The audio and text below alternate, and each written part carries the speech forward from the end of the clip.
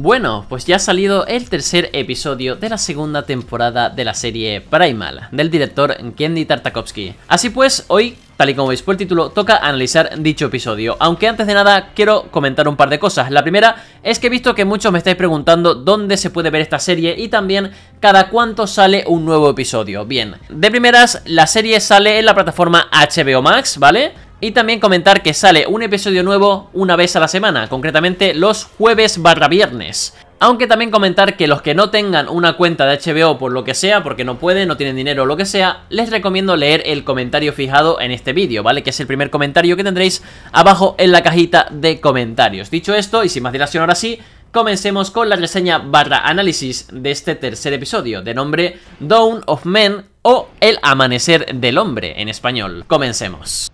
Todo inicia en un bosque durante una tormenta donde Speed y Funk tratan de refugiarse debajo de unos árboles. Y aquí notamos como nuestra tiranosaurio aún está dolida, ¿vale? Bastante afectada, digamos, por la muerte de Red, su pareja. Que por cierto se ha confirmado oficialmente que el nombre de ese Rex macho era Red. Y bueno, todo esto ocurrió en el episodio anterior, así que si aún no habéis visto el videoanálisis de los dos primeros episodios de la segunda temporada de Primal, por aquí arriba os dejo el link, que espero que lo hayáis visto porque si no os acabáis de comer un spoiler brutal. Sea como sea, lo único bueno es que parece que pues Funk no le guarda rencor a Spear, simplemente está, como digo, afectada y se muestra menos activa, como si estuviera deprimida. Total, nuestros protagonistas tratan de buscar un mejor lugar donde guarecerse y encuentran una gran cueva.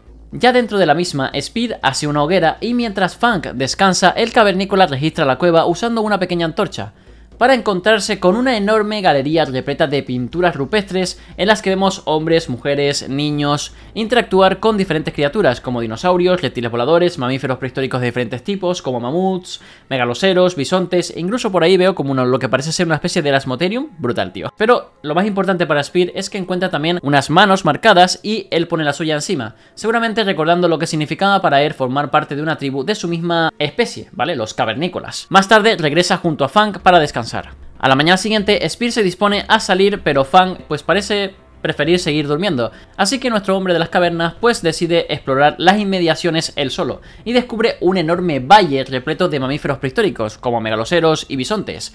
Pero ocurre algo bastante interesante y es que parece que Spear comienza a tener visiones de cómo una tribu de hombres de las cavernas, aunque la verdad visiblemente parecen más homo sapiens, eh, tenían un asentamiento ahí. Y bueno, en este lugar habían hombres, mujeres, niños y ancianos. E incluso vemos como pues un pequeño niño estaba esperando a que su padre le hiciera un pequeño juguete de madera con forma de mamut. Pero todo esto se pone turbio cuando descubrimos que algo había pasado en ese poblado ya que vemos todo destruido y el juguete de madera que el padre le entregó al niño ahí tirado en el suelo, dando a entender de que esto no eran visiones, sino que era todo una deducción de Spear, ¿vale? Tras ver el terreno y demás, pues dedujo que ahí había una tribu antes, pero que algo había pasado.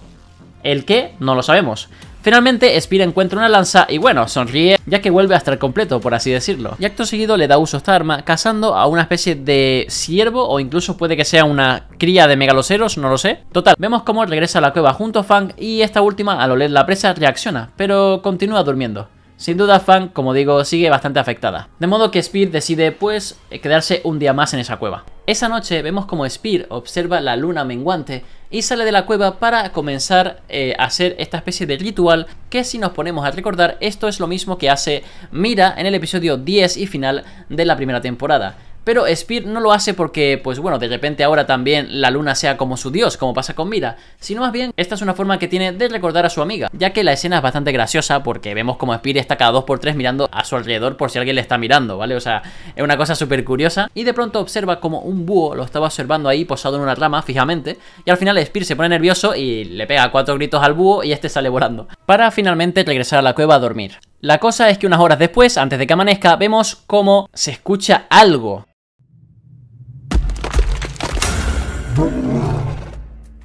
algo que se acerca a la cueva, amigos, a la entrada. Y claro está, nuestra pareja de protagonistas se pone en guardia. Para, acto seguido, ver cómo aparece en la entrada un enorme oso que desde mi punto de vista puede ser perfectamente un oso cavernario. Pero ojo, porque ese oso no está solo, sino que es montado por una especie de vikingo, ahí todo fornido, brutal, o sea, esto es increíble, nuestros amigos se quedan como alucinados y esto que es, empiezan a rugir tanto el oso como Funk y por así decirlo estos rugidos comienzan como a desestabilizar la cueva, por lo tanto todos salen de esta última y descubrimos aquí que no solo había un jinete, sino que eran dos.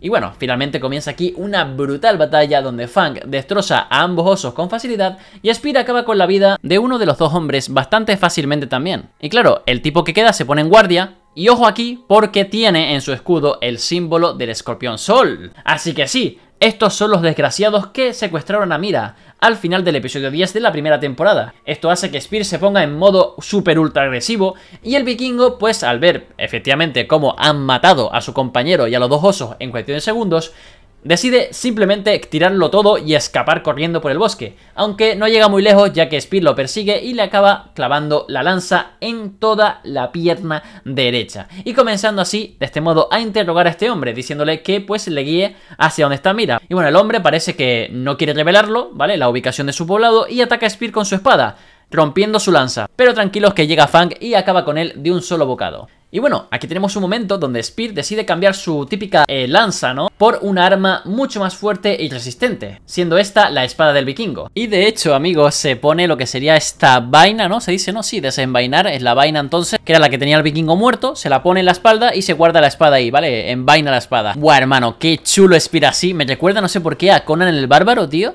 E incluso a He-Man, ¿sabes? Guapísimo. Deberíamos llamar ahora a Spear Sword, ¿no? Que sería espada en inglés, al igual que Spear es no sé. Total, sea como sea, nuestro dúo de protagonistas parece percibir algún tipo de rastro y comienzan a seguir las huellas de estos vikingos, ¿vale? Así que como que están buscando el poblado de ellos, ¿vale? El asentamiento, para que nos entendamos. Y bueno, tras un día entero de búsqueda, encuentran esta aldea que digo. Y bueno, Spear le pide a Fan que se quede en el bosque mientras él se adentra en el asentamiento por la noche, comenzando a registrarlo todo, viendo que todo el mundo está durmiendo y demás. También vemos ahí, de nuevo, escudos con este símbolo del escorpión sol, indicando pues que Sí, como digo, esta es la gente que secuestró a Mira. No sabemos si son eh, aliados de otra civilización humana, pero de momento parece que estos son los causantes de todo. Por ahora, ya veremos futuros episodios, ¿eh? Importante esto. Bien, la cosa es que Spear encuentra una especie de establo y aquí, efectivamente, amigos, es donde esta gente tenía a los esclavos ahí como si fueran animales. Y bueno, entre estos esclavos está Mira, amigos. Y sí, Ambos, Spear y ella, se abrazan, ¿vale? Y bueno, tras unos hermosos segundos, Spear trata de marcharse con Mira, pero esta última no quiere irse sin también llevarse a estos esclavos que estaban con ella. Así que pues a Lanza no le queda otra que sacarlos a todos y pues tras empezar a avanzar por la aldea silenciosamente para no despertar a nadie, de pronto se escuchan a lo lejos unos fuertes rugidos, similares a los osos que vimos antes. Y Spear se prepara para el combate, pero... Sí amigos, aquí acaba este tercer episodio. Una lástima tener que esperar una maldita semana para ver cómo sigue esto, pero es lo que hay amigos.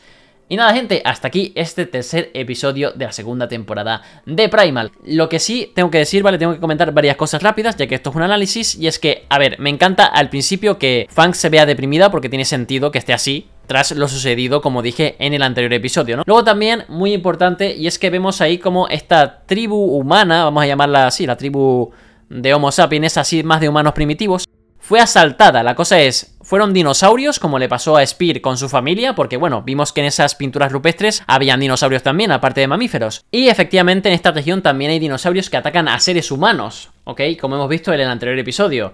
Así que el que fueran dinosaurios es una posibilidad bastante grande. Sin embargo, si me lo preguntáis a mí, yo creo que lo que le pasó a ese poblado fue que fueron asaltados por estos vikingos nórdicos extraños.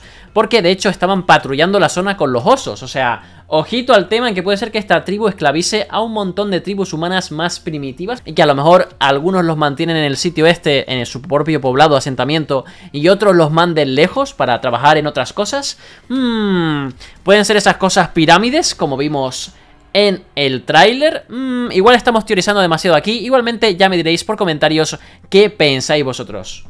Y bueno amigos, dicho esto, hasta aquí el vídeo de hoy, espero que os haya gustado, si así dejar un buen like y suscribiros para que así YouTube os avise cada vez que subo vídeos sobre temas de Primal, dinosaurios y otras criaturas del mundo del cine. Yo soy Blaken y nos vemos en el siguiente vídeo, con más y mejor. Hasta la próxima.